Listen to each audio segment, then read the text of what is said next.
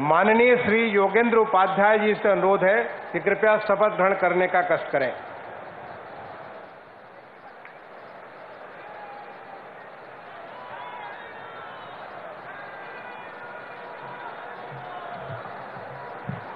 मैं मैं योगेंद्र उपाध्याय ईश्वर की शपथ लेता हूँ कि मैं विधि द्वारा स्थापित भारत के संविधान के प्रति सच्ची श्रद्धा और निष्ठा रखूँगा। मैं भारत की प्रभुता और अखंडता को अक्षुण रखूँगा। मैं उत्तर प्रदेश राज्य के मंत्री के रूप में अपने कर्तव्यों का श्रद्धापूर्वक और शुद्ध अंतःकरण से निर्वहन करूँगा। तथा मैं भय या पक्षपात अनुराग या द्वेष के बिना सभी प्रकार के लोगों के प्रति संविधान और विधि के अनुसार न्याय करूँगा।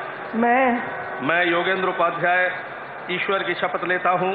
कि जो विषय उत्तर प्रदेश राज्य के मंत्री के रूप में मेरे विचार के लिए लाया जाएगा अथवा मुझे ज्ञात होगा, उसे किसी व्यक्ति या व्यक्तियों को तब तक के सिवाय जबकि ऐसे मंत्री के रूप में अपने कर्तव्यों के सम्यक निर्वहन के लिए ऐसा करना अपेक्षित हो, मैं प्रत्यक्ष अथवा अप्रत्यक्ष रूप से संसूचित या प्रकट नहीं करूँगा।